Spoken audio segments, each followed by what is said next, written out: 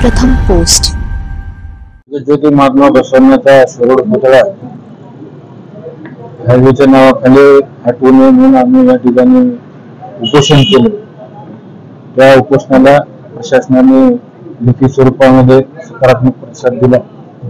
त्यामुळे आम्ही उपोषण या ठिकाणी स्थगित करत आहोत. आमची जी मागणी आहे त्या मागणीवर आम्ही कायम आहोत.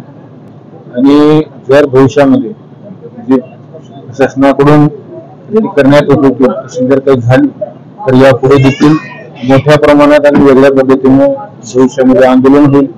म्हणून पुन्हा एकदा प्रशासनाला विनंती की आपण जे काही लिहून दिले त्या पद्धतीने आपण कृती करावी आणि पुतळा तिथेच ठेवू. महात्मा बसवांना महामानवतावादी समस्त भारतीय भोजनांचं प्रेरणास्थान असलेल्या महात्मा बसवण्णांचा पुतळा न हटवावा.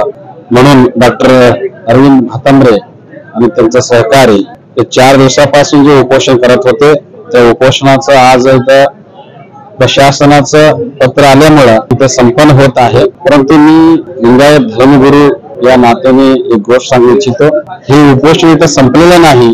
उपोषणाचं ही सुरुवात आहे आंदोलनाचं सुरुवात आहे. महात्मा बसवानांचा पुतळा इथून हलवू नये म्हणून हे उपोषण होतं. त्या पद्धतीनं शासनाने पत्र सुद्धा दिलेलं आहे. परंतु बोलल्याप्रमाणे जर नाही चालले तर भविष्यामध्ये आम्ही धर्मगुरू लोक इथं उपोषणाला बसणार आहे.